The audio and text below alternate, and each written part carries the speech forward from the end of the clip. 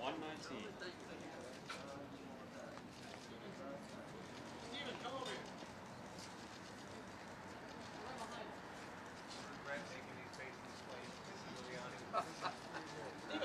I don't regret a damn thing. Of course, there's very, very little I can say right now.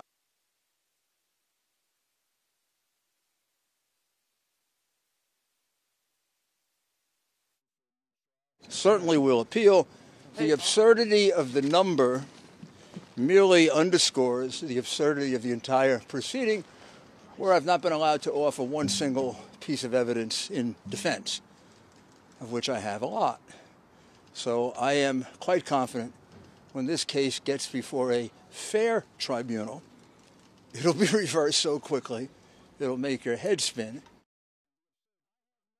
I have no doubt that my comments were made and they were supportable and are supportable today. I just did not have an opportunity to present the evidence that we offered. The comments they received, I had nothing to do with. Those comments are ab- ab- abominable, they're deplorable. No uh, defense to it, but I receive comments like that every day.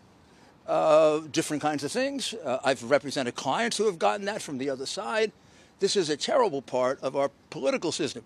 Republicans, Democrats, liberals, and conservatives all get that.